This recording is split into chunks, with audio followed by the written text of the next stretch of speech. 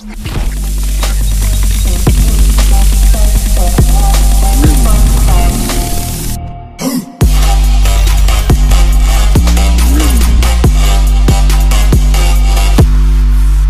up, everybody? Welcome back to Miami Flo Football.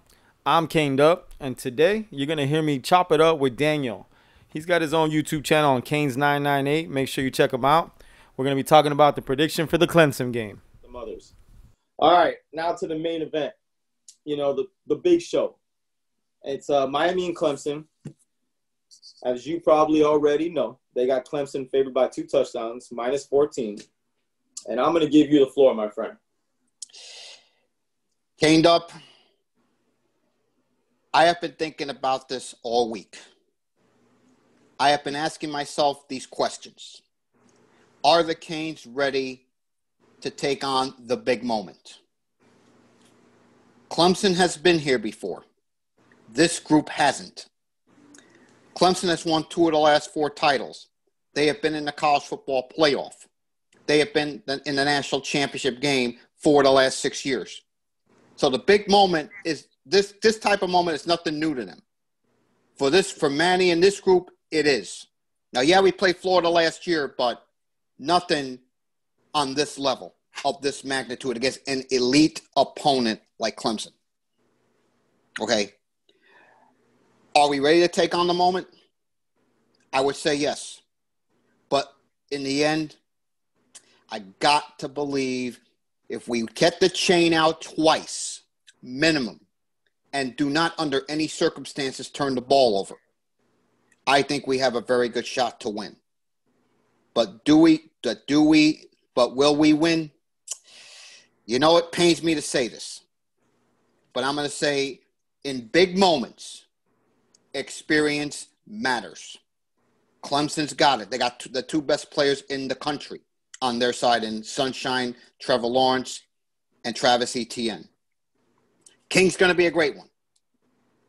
But in the end, I'm going to say Clemson wins, but does not cover. I'm gonna I'm gonna put I'm gonna put some pressure on you. Give me a score. I was asked that Tuesday night. In the last 72 hours, nothing's changed on that. I'm gonna go Clemson 31. 31. Canes 27.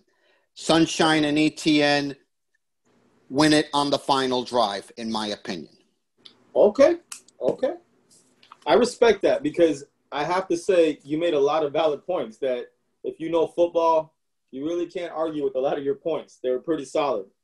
I I am not going to push back on any of your points to be honest uh, as far as your your facts because Clemson is Clemson. They earn our respect. Um, I see this game coming down to two things, other than the obvious things, right? You know, Trevor, the running back. You know, I, I get all that, but I see two things that I don't hear a lot of people talking about. The first one is red zone. I think whoever is wins the red zone battle, I think both teams are going to move the ball. I don't see defenses stopping these offenses. I really don't. I think both teams put up 25 plus points. No problem. Okay, no problem on that. I would be shocked if either team puts up under 25. Shocked. But I think it's going to be who kicks more field goals and who puts the ball in the end zone more. The team that kicks more field goals, I don't think they're going to win it. I think you got to go in the red zone and put it in the end. You got to go in the red zone and put it in the end zone. And I think it's going to be something that's overlooked until the end of the game. And again, we're guessing, we're projecting. Who knows how it's going to go because it's going to rain, you know. So they're, if they're predicting rain, this whole thing could be a mess. A lot of fumbles. You know, we don't know how hard the rain's going to be. More zone than man, that's going to be for sure. But I think red zone's massive. I think uh, scoring touchdowns once you get inside the 20 is going to be the key. And then the other key is, is something that I, I talked about in my last video uh, with the keys to victory is I don't think their linebackers can cover. I think they're great IQ guys. I think they're downhill. They're really good against the run. I really believe that. But when I watch them, um, you know, clearly we all Canes, we've been watching tape on, on Clemson like crazy the last probably week. They don't cover well. They really don't cover well. And I think that is a strength that we can exploit. And uh, something that you and I talked about, a side note that we talked about, you know, off camera was that LSU game where last year where Clemson had a hard time getting in the defensive call because of the tempo that LSU was running, and they were getting the defensive call in too late, and the guys were out of position. I don't know anyone who goes faster than Rhett Lashlee, or tries to go faster than Rhett Lashlee. So let's see if they got that corrected. Because if they didn't get that corrected and they had trouble with the tempo from LSU, they're going to have a lot of trouble with us. So that being said, it was hard to fight my heart and my head on this, to be honest, because clearly diehard King fan. I have it, and you're gonna laugh. I, I bet you I see a smile on camera right now. I wish I could say this is gonna be a draw. Because I have it, I see this game being played out two completely different ways. One with Clemson winning in a certain way, and one with the Canes winning in a certain way. So that being said, if it's a tie, I'm going with my heart. And I got the Canes winning 34 24. And that 24 could be 28. I just think that it might be a field goal, not a touchdown that they get. So I got 34 24 or 30 or, or, or 34 28. That's my prediction, and I got the Kings. And you know what? I don't think you're wrong but I don't think I'm wrong either. That's how weird this is for me. I can see this going both ways. I love the coaching staff they got over there, but I really, really like the interviews of the players this week. I watched every interview of, of the players probably four times. I couldn't believe their demeanor, their answers, the calmness, the way they spoke, the coaches, the way they spoke. No rah, rah, rah, no uh, let's go, just real to the point. I like the mindset. And being that they can't have all their fans in their stadium, which I would have leaned a little bit the other way, I think, if they would have had, what is it, 85 or whatever it is in that stadium, I might have leaned back to Clemson because I think that would have caused us a few penalties, you know? So, yeah, I'm taking Canes 34 24 or 34 28, one of those two numbers. I couldn't get after it. And uh, I hope I'm right. you know, I hope I'm right. But I, yeah. I, believe we got I believe we got some dogs right now. I, I just think we got some guys that are not gonna back down. We might be out of position. We might make some undisciplined plays. I, I see that happening, but I, I don't see us getting punched and not punching back. I just don't see this team being that team yet. I really don't. I mean, you wanna you wanna say anything to that? I gotta tell you, like I said, are we ready for the moment? Are we ready? let's make no mistake, and I'll say this right now. This is the biggest game of Manny's career, without question. It is easily the biggest game of his career. This team has to show we're ready for the moment. That's the way I oh, see it. All the media is all over it. Game day again is with us. You know, uh, I, I know they're hyping it up, but when you look at the numbers, it's tough to see a lot of holes, in my opinion, in either team if you were just to rate them this year. Not history, not the last five years, not the last seven years.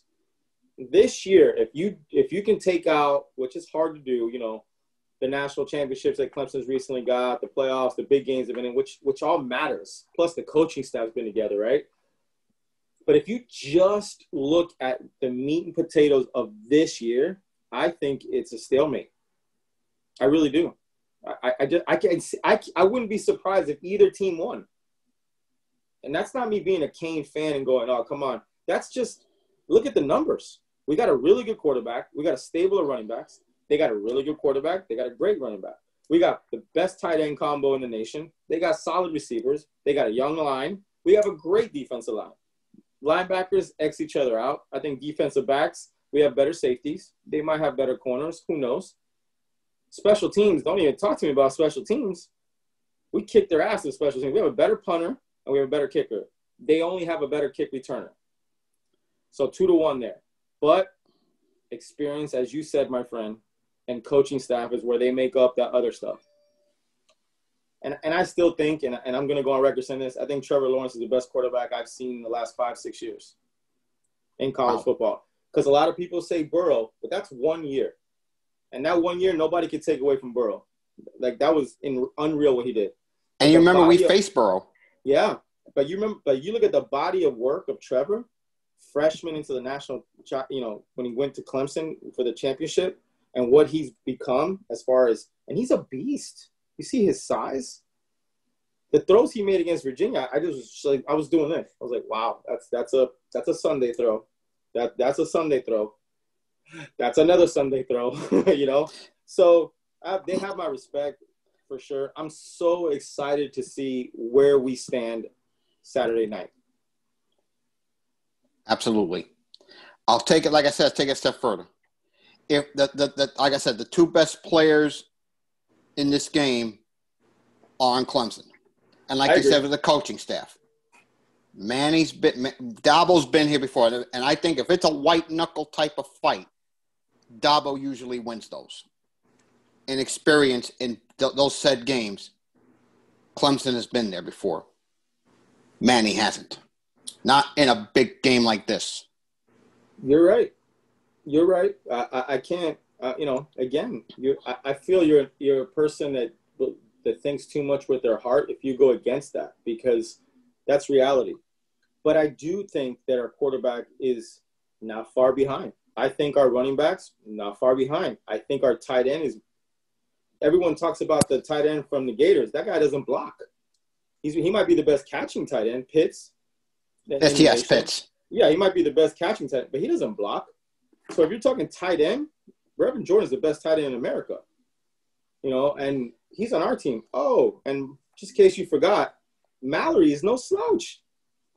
You know, and the, and then the one thing that you know this, and I know you know this, and I'm I'm thinking you have it in your heart deep is that scheme we have right now with a bye week.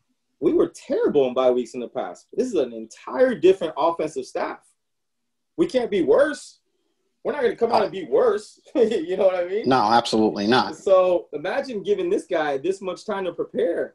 You know, I, I don't know. I, I'm- probably being a little hopeful, and that's okay because I love my Canes.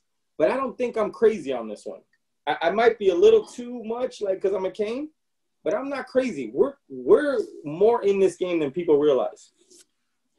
Yeah, we're going to be in this game for four quarters, and especially if the rain's in the forecast, and there is rain projected Saturday, not tomorrow night up in Clemson. Yeah, We have, and I, I'll say two. Here are my keys. One, we must pressure Sunshine. Two, we must finish tackles against. I, I- showed you this off camera. The what Virginia did not do against Etienne. yep, The holes were there. We have got to have gap control. yep. And, I, and I'll bet you that's been a, a emphasis this week from Manny. Manny in the defense. And Manny's calling the defense. Manny is more involved in the defense this week. If you notice that? You know what? I didn't know that. That's that's really good to hear. I'm actually happy. I, I don't. I think Blake Baker gets a little too much heat. You know, yes. The, it, how easy it is it to criticize somebody? It's the easiest thing to do, right? But the guy's done a solid job overall. We might be pissed at some of the calls he makes, but he's not. He's a top 15 D coordinator, whether people like it or not. You Yeah, know, absolutely. that- I mean, the facts Absolutely. are there. And Yeah. that, that's going to be one matchup. Tony Elliott, the offensive coordinator of Clemson, against against Baker.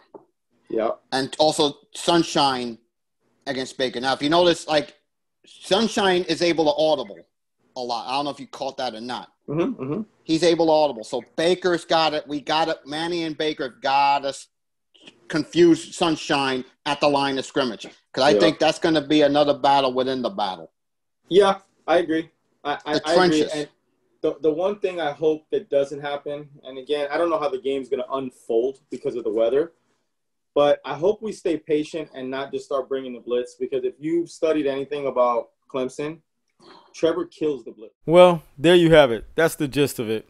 Hopefully, you guys enjoyed us chopping it up. We're going to do that every Friday and start making predictions for the ACC every Friday so you guys can have a little fun and listen to us. Thanks for supporting us, guys. Please hit the like button and the subscribe button. We're definitely new to YouTube, but we're not new to the Hurricanes. Go Canes.